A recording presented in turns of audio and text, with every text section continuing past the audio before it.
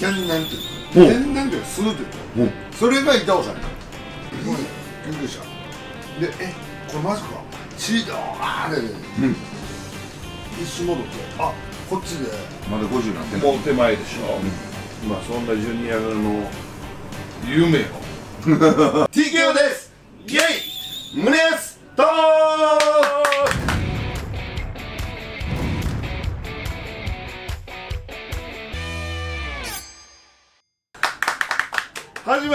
胸熱トークでございます、はい。記念すべき第1回目のゲストはこちらの方。お願いします。全然聞いて。ないロッテやなんていやいやいいから。胸熱トークの第1回目のゲストですから。胸熱トーク？はいそうです飯食うて酒飲むの？回すだけやいやいや一応あのちゃんとテーマがあちゃんとあるんですよ。あそう。うんはい。はい。ちょっと一応企画考えたので、あまずちょっと乾杯すいませんすいません、よろしくお乾願いします。杯。千原ジュニアさんです。よろしくお願いします。ありがとうございます。これが何 TKO の一発目なの？の。TKO チャンネルを、まあ、あ立ち上げまして、まあ、何個かもう何個か撮ってます。あはい。でもう配信してんのもちろん。配信してて、はい。でゲストを招いてトークする一発目。あそう。そう。それがジュニアにぜひ来ていただきたいということで、今回、えー、来ていただき、はい。あ。そうなんありがとうございます。えなんだむむえそのトーク以外は何をやってんの？コント。コントコントとあ。とは二人でトークと。あなるほどなるそそう。へー。うん。まあ、やっぱり僕らがね、一発目の YouTube のコラボをするのは、やっぱジュニアがええやろって話したんですよ。あれは一人でやってるんですか？キノチャンネルですか？知らんねん。キノチャンネルの話知らんねん。けど天まで届けいや知らんねんけど。それはねやってます別で。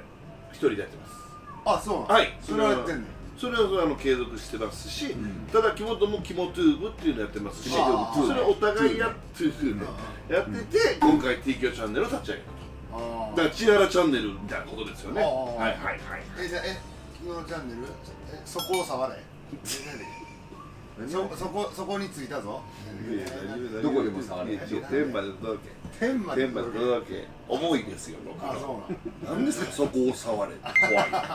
死には来とるやねでもそっちでジュニアにとコラボさそうなんですせてもらってるよ。出ていただいておりますし、あの喋りましたけど、やっぱ TKO 言ったらそれこそ転落っていうね、うん。本を出した時に、あの帯書いてもらったらジュニアやったりするし、な帯書いてもらったのはなんでかって言ったらあのやっぱり本当にお世話になってる。そうもう俺ら言ったら、まあ、せちょっと先輩なんですけど、はい10代の頃のジュニア知ってるというか、うん。まあ、そこからこうやってごめんなさいねジュニアファンの方、あのタメ口で、はい。えー話させてもらって同すから。いやそう言ってもらったらありがたいですよ。そこは。ほんまに甘えてあのそうそ俺はもう常に話すたびに敬語に戻そうっていう提案はしてんねんけど。いやもうええやろこの年で。おっさん同士もうええやろ。なあ。まあ一回ジュニアに聞きましたよ。これちょっと敬語大丈夫？みたいな、まあ、それであの OK をこのまましてっていうことで。政治の敬語もなそうなんですやっぱ年が。これちょっとまあそれもあるかな。ああまあ俺らの年だいぶ下やからそんなもん。そうやね。だからだ大輔さんが一番俺を怒られる。過敏よあー過敏よ。だからうん。だから変なじゃんけんみたいになそうそうそうそうそうそう。そう三つどもえなってて。だから大輔さんって言うてんのに大輔さんはジュニアさん。ジュニアさん。俺らジュニア。ジュニアやから。どういうことやねん。まあちゃんとさん付けしろみたいな感じになりますけども。まあまあええやつだな。はい。この年でそうですか？そう言っていただけたら助かります。いやだから。うん胸熱トーク。胸圧トークってどういうこと？いやだから前ご飯連れて行ってくれた時にさあのどあこんな感じでやるっていうのちょっと説明したいんやけどあもう当日でええよって言うから説明でいやもうそうやね結局そうだ今日俺言おうとしたやんか。めっちゃ酔っ払ってたからあのでもねこれも胸熱になる前にちょっとはい。鍋熱してもらって。そうやねやべや注文しよう注いや文しようすいません。いいですか確かに確かに木本がほんまにこうね、うん不祥事あった後にその外に出てるのもやっててくれたらジュニアやったんでしょ一番最初にねでご飯行ってそれだ店に着くまではほんまに久々の外でものすごく怖くてすごいよなえそれさうんまあまあいわば、えー、ある日突然、うん。昨日までと生活が一変するわけや。ん、そう急に外に出れなくなる。急に外に出れなくなるんやろ、うん。そんな準備もしてへんし。してへんし。じゃあ分かってたら、うん。カップラーメンでも買い込んでもこの話やけど、うん。そういうわけでもないわけやろ。そどんな感じなん？いやもうなんていうやろね。外の世界っていうのがもうないっていう感じ。家の中が世界全てっていう感じで。ででもあの例えば鶴瓶師匠だったりとかお世話になってる知人から食べ物を送ってきてもらったりして、でそれでなんとか食べ物食生活を賄えるまあであの奥さんもうん。外、奥さんは外出れるからね。そうそうそうそうそうそう分からへんからただ中途半端に飼ってる犬2匹いてて、うん。その犬を SNS に上げたりしてたから犬はもしかしたらっていううんもう恐怖心があるうからマスコミの人調べて分かるかもやと、分かるかも。あああってなるかもしれんかうん。ら犬を連れて散歩とかっていうのもできない。え犬どうした？だから夜中になってマンションの内側の廊下っていうのは外から見えへんから夜中になって皆さん寝たやろなっていう時に犬2匹連れて俺がね廊下をずーっとゆっくり歩いて犬も感じてるよな。感じてる。だからあれ主人おかしいぞ。おかしいぞ。確かになでも階段もずーっと5階住んでるからああ。ああ1階まで降りてでまた向こうの端っこの階段まで行ってまた登って。でで外見たらやっぱり車が止まってるわけそうベランダから外見たらあ車が常にもう24時間ずーっと止まってるね止まってるな家はな。そうそうへえその時に奥さんはどんな感じなの、そうわこれ大変やん。うん。えなちゃん奥さんの方が大変かもよ、うんそう普通に考えんなおかしのおられたら、ピンポンも来るし。あそれも耐えながらも家でずーっとうつむき加減のうん。主人がいあるっていうので逆にその強くしっかりしとかないとあかんっていう感じでうんなんか無理してご飯作る時に鼻歌歌ったりとかそういうことしてんねんけど無理してるっていうの分かんのよ。もうそれが辛くて。うんなんかまあいたたまれへん感じで。で夜もこう寝てるふりすんのね。絶対起きてんのにちゃんと寝れてるよっていう。えうん。でもそれがまた辛くて。うん。優しいよな。まあまあ。本当に。旧姓で呼ぶなって突っ込むタイミングで入ってきましたね。嘘で っちゃいちっちゃい時から知ってるからちっちゃい時そうそうもう14から知ってるから俺ここのこと。うん。ねえこやねほんまに。既読も言うない。そんな中12から LINE があんねそう。パンで来てどうしてんの？って言ってご飯でも行かへんかってやもう細かいことなく。言って泣く。泣く飯小屋って普通に。そう。ででご飯ぜひって言って。でもジュニアじゃなかったらまだ精神的に出ていくテンションがなかったよ。例えば後輩とかやったらごめんもうちょっと待ってって感じやったけどやっぱり正直ジュニアと2人でご飯行ったことなかったから。ああそれまで？打ち上げとかそんなんなるほど。それの初が一人で？そおおう。それで誘ってくれて。いやほんで誰か読んだ方がいいんちゃう？うん、気も使えるし。うん、なるほど。あナイツの花輪と、はいで、えー大サーカスの団長が来て。で花輪はすごいジュニアとゆっくり喋りたいっていうふうなことを前言うてたのうん。があったからあいいきっかけやと思って花輪を呼んでうん感じで4人でご飯食べたええ久々の飯やまだ外や。外食な。外食か。もうあの別になんちゃない話で1軒ご飯食べて2軒目バー行ってみたいなそんな夜やったかなうだからうん。花輪君なんてほらちょっとこうなんていうの中二会みたいなーん店やな、うんはいあはいはいはい花輪君来て、俺は二人で「あはいあそんないい投資話あるんですかあいいですね」とかって入ってくるうん。あ結構行くねみたいなボケや。うん。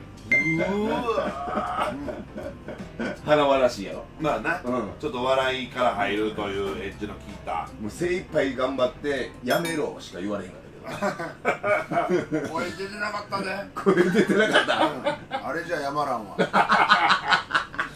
まあな。なのでちょっとそんなね、ジュニアにね俺らはちょっとこのもちろん飯食いながら飲みながらなんですけど、うん。ちょっと胸熱トークって言ってね、ちょっとまあなんでしょう。こんな言葉に支えられたとか、この人と出会ったことによって自分がこうなったみたいなちょっと分岐点じゃないけどちょっとこう胸が熱くなるようなガチのトークを、笑いなしでいいのであのお落ち着けんでいいからそれは別につけつけたってあの落ち落ちなんだえそうね胸熱なんでね、ちょっとこうあるじゃないですか。僕もやっぱありましたし誰々の言葉に支えられたとかそれこそ俺らにとってはジュニアやったりもするわけよこうやって、うん。ななのでちょっとジュニアにとっての変えられた人生変えられたこうポイントみたいな方でいたらまあ下店からいっぱいいるとは思うねんけど。よくやっぱりよく聞くのは板尾さんっていうのは、やっぱり俺は最初はそう。ね。でもね板尾さんやっぱそうなんやな。板尾さん。それをもう何？この世界入って。帰ってまあ俺はみんな4月からで、今みたいに NSC とか吉本興業がグッチリしなかったから、うん。全時は吉本の4月から NSC 入っててで同期が藤原とかあの長木武史チャンス投手の。うん。で全時なんかコンビ組んだんやて、うん。でコンビ組んだけどなえっと中中中中谷さんとかには。はいはい昔。中中中倉さんかなんかよ人と選手組んだんやけど、はいで全然面白くなくて、で解散してで相方いいってなって誠司は一人で入ってるから、で、えっと6月に俺電話があってきて「吉本いるからお前学校行ってんだから来い」って言われて、で俺一人で行く。今やったらさそんなもん6月から入れるわけないんだけど、うちの弟学校行かんと家にずっといて相方とやりたいんだけどじゃらもう安田さんってもうほんまおじいちゃん、うん。うんなもう入れたろわうん。入れてくれはった、うん。で俺入学金もあるね。あそうなんや。で月謝だけ払え。おうで6月に入って、で結果9月から月謝払えずにもうクビなんだけど。え？うん。うん。でその9月にクビになったと同時に吉本新喜劇プロジェクト YSP って言って、吉本新喜劇やめよっかなキャンペーンが始まるわけ、うん。何月までに何万人入れなければ吉本新喜劇がもう衰退してるからこの吉本から新喜劇をなくすみたいな、うん。で今田さんとか東野さんとかをあの薬さんじゃあるさんとかみんなで座長にしてみたいなこのその新喜劇プロジェクトがあったわけ。はいはい。そこに入れてもうた。うんなぜか。うん。うもう NSC は通わなくなり。ん。うん。うん。うん、んなら吉田博さんがうん。引っ越しやるっつって、神戸から大黒町花園のマンションに引っ越しやるっつってでローリって先輩の引っ越しを後輩が全部こう手伝うもんだっていうことでやってたというか、まあ、俺15歳、うん。初めて入って3ヶ月ぐらい、でずっと手伝いに行ってでバッファローとかなんかいろいろいたわ。でそれ、えー終わった。みんならそのマンションの9階に住んであった先輩が降りてきやって「おい引っ越し終わったか?」みたいな「終わりました」っつってなんか知らんけど10人ぐらい若手いる中に「えー、明日安倍村山岳公園にジーパン買いに行くから、えー、っと2時にお前うちのに来てくれ」って言われたんですよへえ。なんで俺を言い張ったのか分からへんけど、うん。うん、で「えはい」っつって、今度俺次の日、うん。そのマンション行って、ん。で906号室かなんかピンポーンってうん。2時に、一人で。うん。15歳、うん。ガチャって、なん。や早っみたい。なそれって板尾さんのおふざけのなんや？え？もうなんていうの？天然というか、天然というか素というか、うん。それが板尾さんや。あの時はでも気づかんもんねジュニアは。15歳のジュニアは、え読んだん自分やんってもうそこから買い物連れて行ってもらって。うん。でいろいろでそこからまあ板尾さんあのお酒飲みやれへんから、うん。でご飯ずっといろいろ食べさせてもらったうんりして、喋ん。の？会話はあるの？ほとんどない。イメージそうやんな。ほとんどない。でも俺ももちろん緊張してるし喋られへんし、で緊張しなかったとってそんな俺もうペラペラ喋ろうともないし、板尾さんも全く喋りられへんし、だから稲尾さんの家呼ばれて行って4時間ぐらい一切喋らずに ほなぼちぼち開こうかみたいな。ほうん。かどっか甲子園板尾さん意外と野球好きやから、うん。甲子園野球見る意外かとか。行ってでずっと見ながらたまにボソボソっと、ん。あのボケはる、うん。それをこう聞き逃すまいとうん。聞いてる15歳、16歳で、うん。ほんで、えーもうほぼほぼ会話もなく、ほなまたとか、明日何時なんでも誘ってくれんねやずっと。そう。それはなんで板尾さんに後で聞いた？なんでジュニアやった？いやそれ分からへん。それ分からんねや。なんか才能をこういやいやいやいやただただもうほんまに目つきの悪いなんやこいつすぐおらんようになるやろなと思った後は言うてはったけど。そうなんや。じゃあ最初なんかネタ見てこいつって思ったっていうのが最初じゃないんや。全く全く。一番緊張する。え？今でも？今でも。え？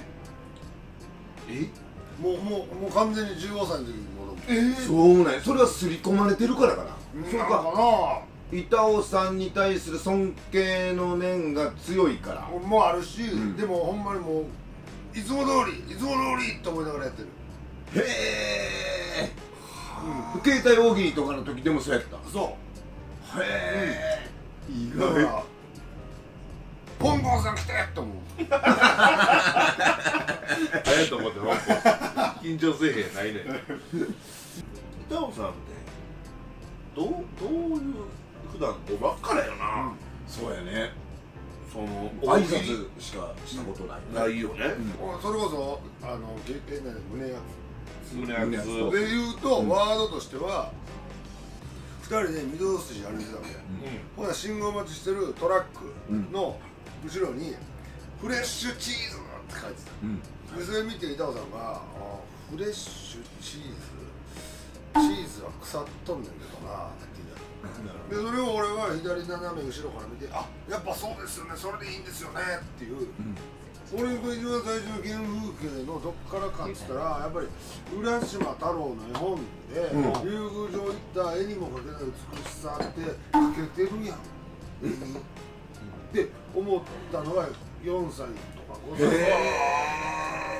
それがなんかパーって。ねちゃうけどこうあわかるよ。言いたいことわかしたっていう。る違和感と違か理不尽とか。かそういうことのはい。そんなんここポンと置いといてください。言いたいというかそんなやっぱはズボラの服のあの有本がもうパンパンになって服ってあの状態になる時って威嚇してる時だから、そうや。うん、客にメンチ切ってる。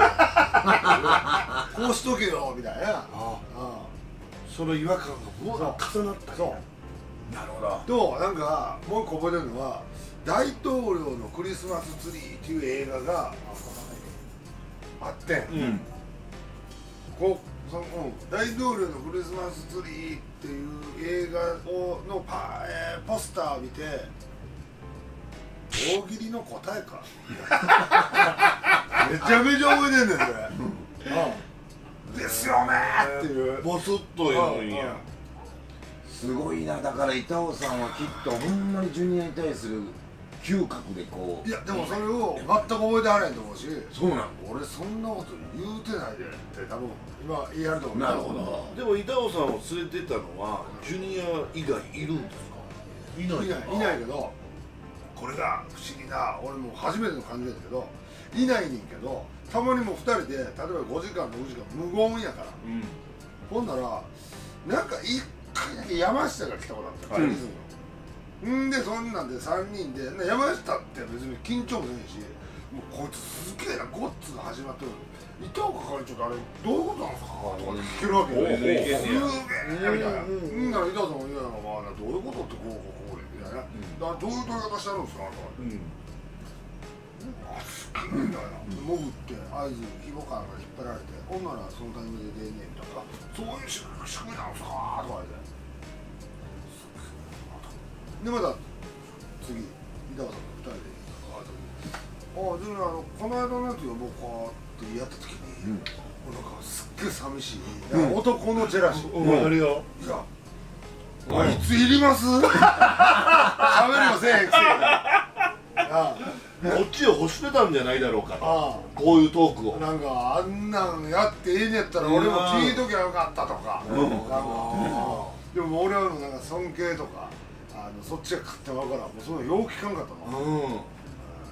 あのそれが俺はねそのジュニアはね俺今言ったらまあ僕らも仲良くさせてもらってた中で、うん。事故したやん。はいはいはい。いやだってもう終わるかもしれんわけやん自分自身のこの芸能生活。いや終わったと思ったよ俺は。まあその事故もあれやけど、まあ、普通に走ってて事故どういうことどういう流れで、吉本で、えーっと「さんま御殿」が始まってまた23年やったかな。とかぐらいで「さんま御殿」のアンケート書いて、うん。ね。当時って、俺ら大阪から来てる人間じゃさ、アンケートなんてなかったん。やなかった。だったな、あれはもう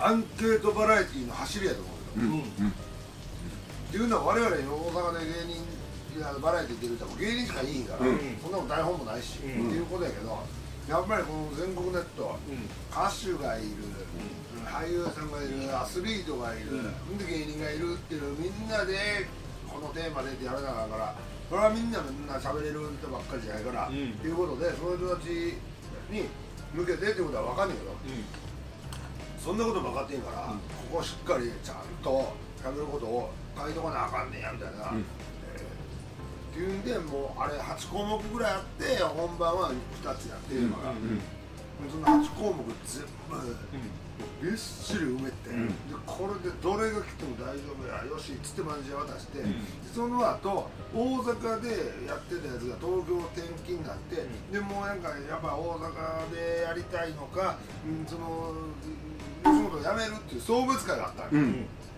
おそこに向かう途中やったんですよ、うん。ほう、うん。でで当時の二条劇場俺らと一緒にやってた人もこっち東京来てたから。で俺はバイクでアンケート書き終えてその送別会に向かうって走ってた、みんなタクシーが止まっててその横通りに行こうと思ったら出てきたわけ、うん。はい。で俺もバイクの一回、えー立ちこけして、ん。タンクを修理したとこやった、うん。でこれまた倒したらまたバイク手放さなあかんやんか、うん。うん。もうちょい頑張ってみようか。って言ってもうここに今度そのせ石柱石の,、あの等間隔の歩道に立ってるまあいわばガードレールがここにあったんだよ、うん。ほんでまあぐしゃーってなる。もちろんヘルメットはかぶって。エルメがぶってんねんけどそうん。の日からその日からやで3月忘れません3月26日あったかくなってきたなからでフルエイズから半キャップに変えてんうわーその初日。うん。ええその日。で顔面ぐっちゅうじゃん。でもうもう血まみれ。もううわもうもう覚えてないやんなー覚えてる覚え覚えてんねや。え？てる一瞬一瞬戻んねんうん。え？え？なわーわーわー。っ救急車。でえ？これマジか？血だわーってうん。一瞬戻ってあこっちでバイクのうん。後輪、まあ、前に前に回ってんなみたいな。うん。あこれ動かさんとこれ大渋滞だこっち。うん。動かさんとと思うけど一切体動かんで、えええマジかマジかマジか。ピチャーンってまだ。無意識になるから、でどこの大渋滞の中こうなえらい事故ってるねっていうその送別会に向かう当時の小劇場の支配人もいんねん。うおー。目撃してんの。でもジュリアって分かってないん。や分かってんの俺って。うん。うんそういう時って痛い痛い痛い痛いとかそんな意識はないの？全くない。寒い。寒いんや。めちゃくちゃ寒い。もう次気づいたら頭カンカンって、うん。なんやこれストレッチャー、うん。ストレッチャーでもうこんな。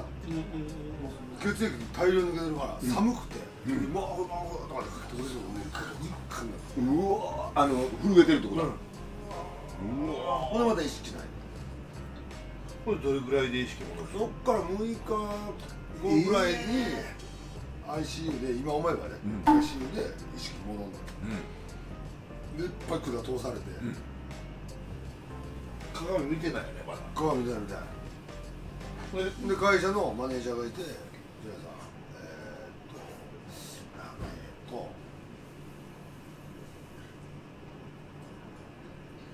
作家になりましょう」ってうわ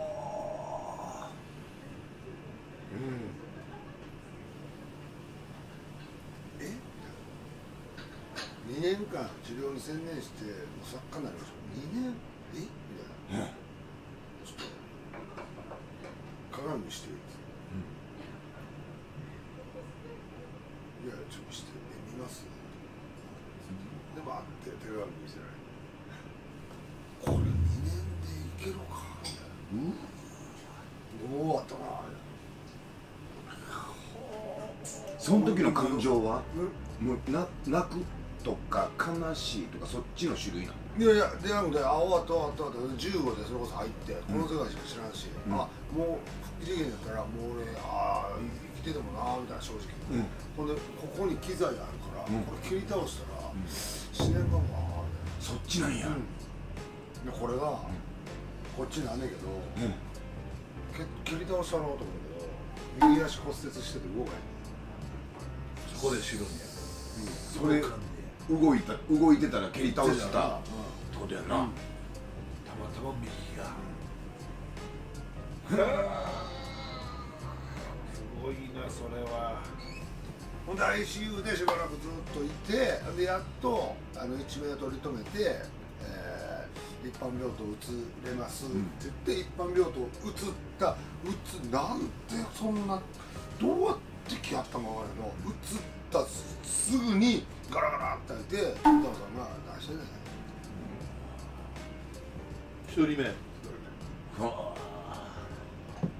うんほんでほんまに下の売店で買ってきた雑誌4冊ドーン「バイトこい」って帰れんのああ止まらんな俺帰っていけんの。そうかそうか。ちょっと希望が見えるな。ほんでそれがもう伝説となってる。うん。板子さんの雑誌の4冊置いた一番上がブルータスで今度はベスパに乗ろうっていう。伝説やな誠司さんちなみに。政治は関係なかっそうやな。なんか見た聞いたことある。それ来ない理由はんななんやったっけ？その見たくない？たいやいや俺が行ってどうなんのどうなんねて。そっちか。そうとにかくな深いのよ。一発目のだから俺はあのえっ、と運ばれた、うん。もうストレッチャーの上で手術台の上でこんなんなってるみたいな時の手術室の外にはいたよ。うんあほんで一回だけ入ってきて。うん。はいはい身内しか入られへん。マネージャーも入られへんやつ、おおうん。あいつ半笑いて俺の顔がもうあまりにもこんなん。すごいな。ほんでよくよく後で聞いたら廊下に六本木のホステス待たして すごいな。口説いてる途中に何事故ってくれてんねん。おもろいなやっぱり俺でもいいつかこうなんかちゃんと喋る時にジュニアに聞きたかったのがまあ若手時代の話に戻るけど俺らってあのショートコントの前にラップ歌って、ショートコントやってねずっずっちゃっちゃチクチクチュってつなぎやってっていう。で爆笑ブーイングって勝ち抜きのやつに勝つためにっていうのでそれをやっててんけど、でその時に「わちゃちゃ TV」とか、ジュニアの MC の千原の MC の番組で。笑いの剣とかで。めっちゃいじってくれてて、はいはであの時ってこう後に何年も経っていくといじってくれんねやっていう喜びが分かんねんけど、うんうん。当時っていうのはうん。いバカにされてるじゃん。バカにされてるっていうふうなのがさっきうんうん来そうなもんやってんけど、俺らあのほんまに木下がラップ歌おうって最初言うた時に、あのやっぱり吉本の芸人がやらないことやらなあかんでっていうことやって。んな、そうやな。うん、で絶対吉本の面白い人たちがあこれ。はね吉本のおもろい人らがいじってくれるってっていうところで、ほんまっていう感じでラップを歌い始めて、えー、あそうなんそう。おう。でそれを最初にジュニアがう。んいじってくれたよテレビでおうで結構周りからはみんな若いから、うん。気にすんなってとかっていう感じやねんけど俺らはひたすら「木下言う通りや」とでそ実際それでこっちの方のお客さんも流れてきてくれて見に来てくれたしっていうのもあったから感心してたし、あのありがとうと思ってたけどやっぱりなんかいじってる人と面と向かった時に普通に会話するのがそこに関しては根性がなかったそうでも結構ジュニアはいじってんねんけどなんか俺らとだん少しずつこう、まあ、仲良くって言ったら偉そうやけどなんかこう接してくれるようになっていくやん。特別やったそう。あれあれななんで仲良くしてくれたんやろうっていうのは正直ずーっとあって。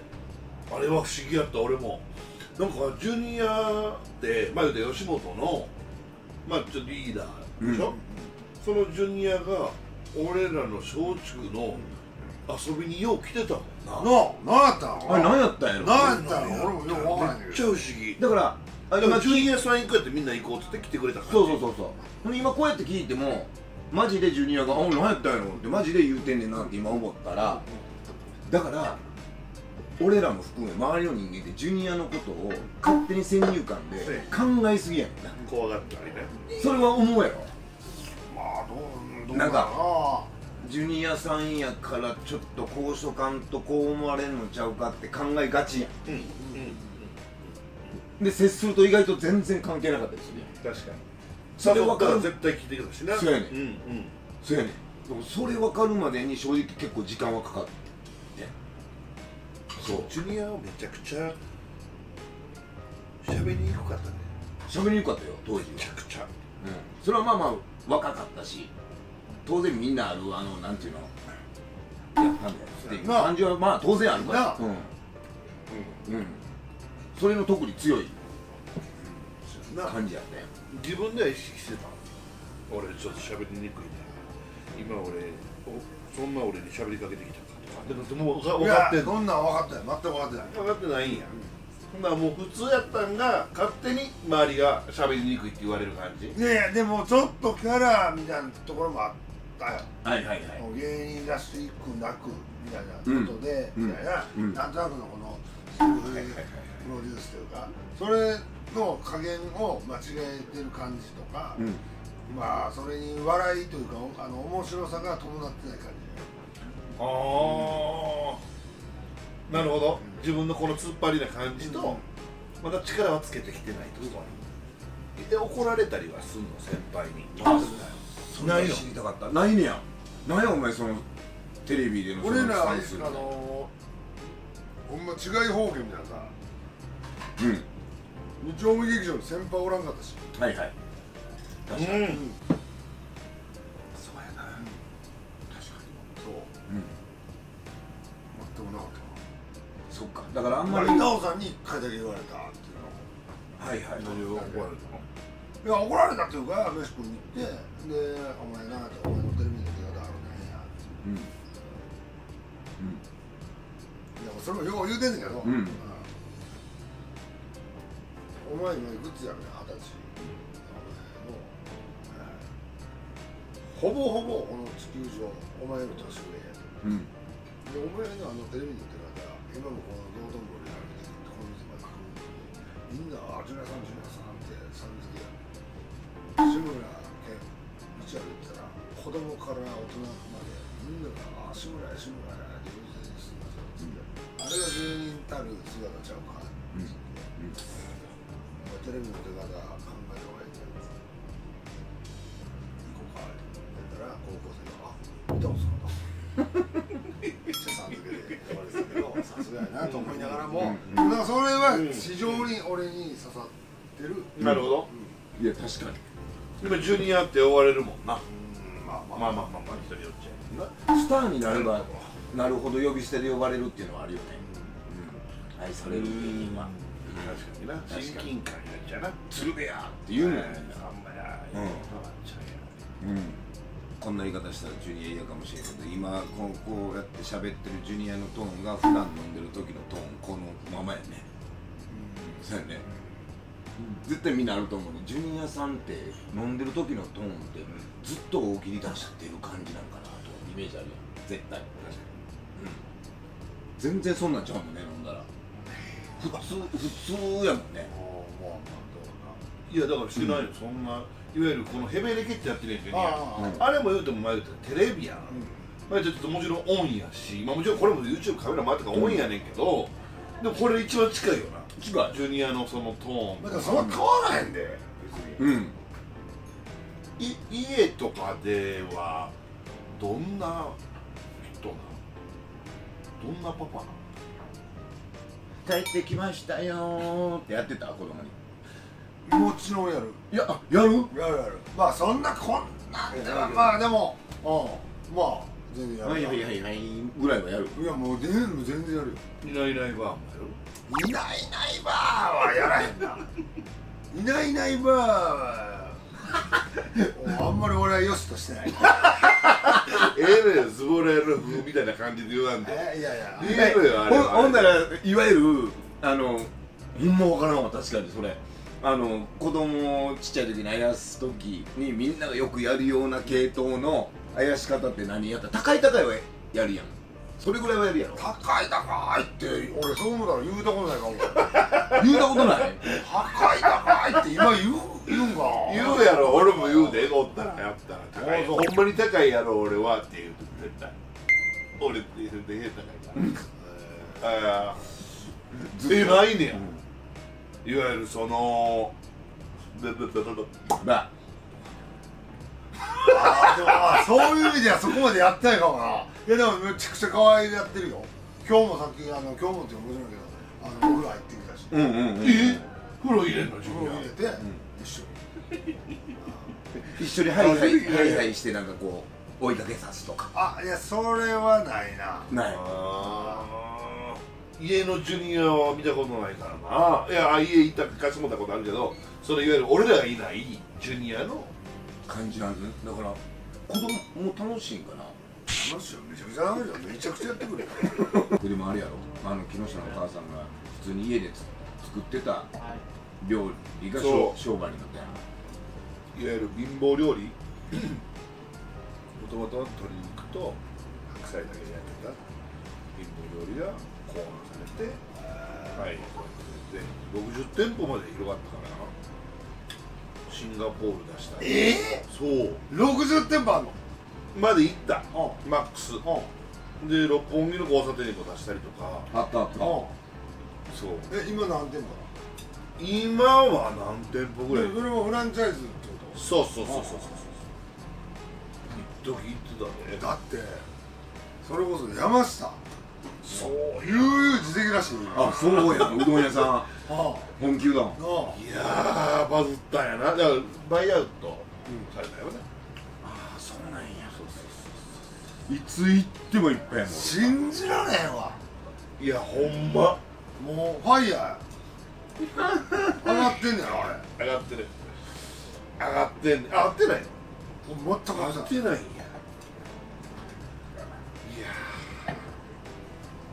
ー。いやでもなんかそれこそ山下さんの話出たから名前出たから言うけどそれこそジャリズムやんなんか吉本の一派羨ましなかった？ほんま知らなかった。だからまあ特にジャリズムで言うたらほぼ同期やったから。ほぼ同期。でもどんどんその活躍の場がみるみる増えていく感じ見てたもんな。うん。うん。羨ましかった。まそう。俺だから胸熱トークやから言いますけどジュニアに言われてすごく胸熱になったことがあるんですよ、もう。あのそれこそジャリズムとノイズっていう。のと、うん。ノイズは同じ松竹のはい。ちょっと先輩ですね、で千原兄弟、はい。矢野兵道、はい。TKO、うん。増田岡田っていうのが ABC 新人グランプリの新人賞ノミネートされたんですよ。はいはい予選通ってな。おーそのメンバーだはい。おであの千原兄弟、まあ、ジュニアはねさっき言ったようにちょっと飲んだりもしてたんで、うんうんあのちょっとあジュニア千原兄弟も一緒なんや嬉しいなみたいうんうん。な3章に、50組ぐらいからの中で名前呼ばれた10組前に出てきてくださいって言われた。うん。千原兄弟っつって、うん。まあジュニアももちろんシャアに構えてるわな、ん。全然ガッツポーズもなく、うん。なんか出ていくわな前に、うんうん TKO ってその次呼ばれた俺ら。ほうほうほうで俺ジュニアと隣同士になるわけ。ほううんジュニアやっぱりもうこうなんやろな。科目や。うん。そこでガッツポーズとかせえへん、うん。でも俺らもなんかせえへんのよそこで、うん。せやねしたいねんで、うん。新人賞取ったから嬉しいねんで。せなあかんかってん。でジュニアはなんか、いやいや着々やなと思って、俺もちょっと真似てこう何もせえんかったわけ、うん。ジュニアが俺にな腰をな、でどうだくわけ、うん。もうみんな次の名前呼ばれてノイズ呼ばれてってる間で、うん。三章に、うん。そこで俺に、明日からモテるでって言われて。嬉しくて。顔さすなっていうことやせやな。だってそあの時はもうなんかみんな見てるんちゃうかって思うぐらいうのそうみんな見てた。賞レースやったから。でちょっとお笑いもうん。大阪で、うん。まあブーイングバズってたから、うん覚えてます？もちろん。いやいやそれ言うたら覚えてんねんけど、はいはいはいあそのね。いやそんなんあったやん。で俺らが大阪でいろいろ番組やらせてもらったりして、うん。で俺が東京行くのは22とかうん。3やねんけど、うん。そのちょい手前ぐらいに、ん。俺それ全く覚えてないんだけど、うん。その真相事細かに聞きたいんだけど、居酒屋タコシゲってもう我々たまり場、うん。もうずっと面倒見てもらってたタコシゲで、飲んでたんやろ俺と、はい。一緒に飲んでたんです。で俺がなんか明日早いから帰るわって帰ったの、帰って。うん。でまあ普通やわなまあ先帰るわ、うん。うん、だって、ほんで何時ぐらい今今現在？その時。あその時で、えー、まあ12時てっぺん超えてたまあだから帰んねやろだから帰るんでしょうし、うん。まあまあ全然気にならんとまあ1時前とか。はい、うジュニア帰った10分15分後ぐらいに、うん。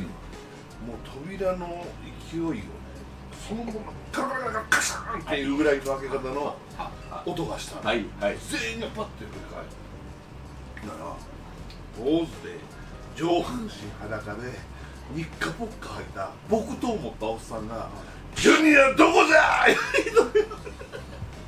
マジでそれ。マジよ。ほんで俺ら「え？っ?」ってなってで「えちょっといや知らない？どこや？おったやろ」いやもう俺もなんか苦肉の先も必死よ「今日は来てない」って言って「会ってません」とか言って「うん。うん言うとけ。次やったら殺す言うとけ!」言ってどっか行ったんや。えー？タコシゲも俺の思い出が正しけどタコシ。タコシゲじゃないから多分それ。タコシゲやったらマスター絶対覚えてるはあはあはあは。まあ親居酒屋や違う居酒屋なんや。もう来たもん100%やから。この俺のこのこに今来てるって情報が入ってきたんやろな。そうやろな。俺何してた何なんそれ？いやほんであの俺はねいや怖いなあ言ってジュニアなんであんな恨まれてるようなことあんねん。言って、2週間後ぐらいの「笑いの剣」の MC やったんで、うんオープニングバー出てきたらここで晴れてたから俺これやと思って。怖いな全然全然見つかったんや違う。かって全然違うあそれはそれでだからでも絶対に女やでもそれはそうするしかないよな。でもな俺らもあったな女関係で俺らというか木下が 木下家がはあったわ。松竹の事務所に「木下どこや!」言うて。でデスクの上に乗って。ほんで「木下やべほら!」って言うてもうめっちゃちん怖いチンピラが来て。なあ。そう役割できた後ろの方で「やめなさい」みたいなおじいちゃんが。ちゃんと構成されてる。まあまあまあいいじゃないですかとか言って部長にとにかく TK をテレビに出すな。となんでその頃にちゃんと部長は TKO を切らへんかったの？いやいやいやいいや。やいやそんな俺もあれや。いやその頃は切られてたまらないんですかそんな。ちゃんと切られてるやん後に。だからや。だからや。いけますんで。はいどうぞ。これはもうこのままいったらでまず行っていただいてはいで味変で。これはこれは何だ？それは何あこれで取る。まあでも自家箸でよくないうん。全然全然。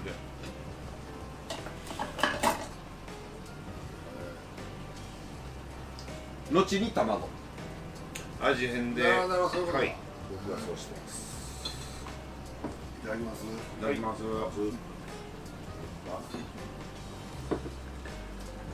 芸人狩りも流行ってたしな、おい。しい。ありがとうございます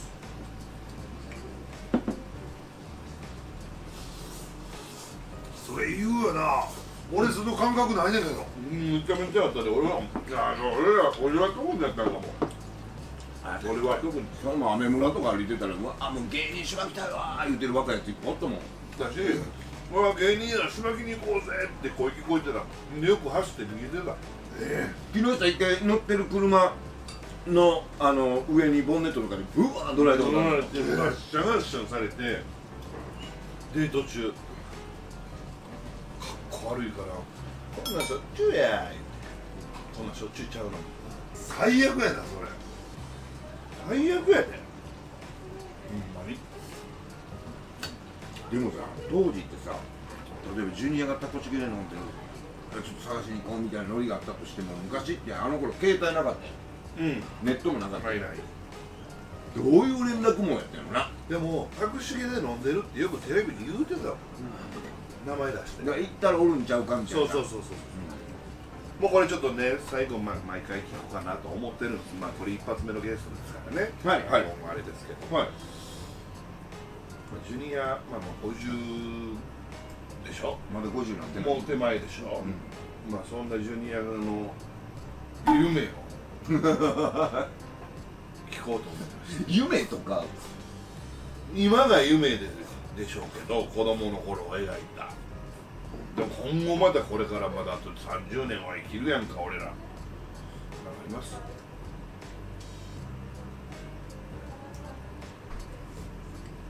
オンエア8本ぐらい残してうん。死んでたらええよね。ああなるほど。新しい。な何ですかそれ。どういうこと？収録終わって。死んで、うんあまだオンエアこれいついつ収録したもんですみたいなさ。うん。なんで？いやだってそのままもう急に今日今日まで現役でそんなん最高じゃないうん。だってこの前先週収録でうん。一緒の時は元気やったんですけどね、っていう感じやもんね。多分ぽっくりいってんだよね、バタッと死んだ方がいいんや。うん。いわゆる寝たきりでそんな病院で年齢で8本残してるってことは4本ぐらいはレギュラーちゃんとあってってことだな、なるほど、うん、2本二本撮り2本撮りぐらいしてて。うん、でも夢なんですか？でもその考えアされてないあのの8本残しすることです。はあ。その心はってことよね。もう最後までギリまで仕事しててコテンっていくっていう。今更言うことってもないねんけど、うんオープニングのやつ何やお今なんや。きつくなるえじゃあもっと早よ言うて。じゃあもう今更取り返されへんもんもな